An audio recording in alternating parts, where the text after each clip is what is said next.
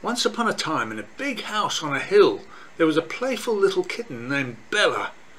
Bella had a soft, fluffy fur and bright, curious eyes. She loved to explore and play in the garden and was always looking for new places to visit. One sunny day, Bella decided to venture outside the garden where she lived.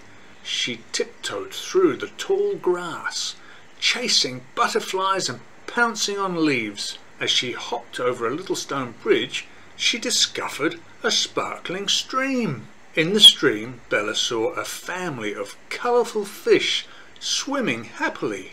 They looked like they were having a lot of fun. Bella thought she'd join them. With a leap, she jumped into the water, splashing and giggling.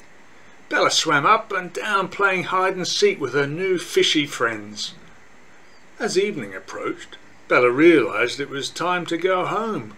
With one last splash, she jumped out of the stream, shook off the water, and raced back home, her heart filled with excitement. From that day on, Bella visited the stream often, enjoying her underwater adventures with her fish family.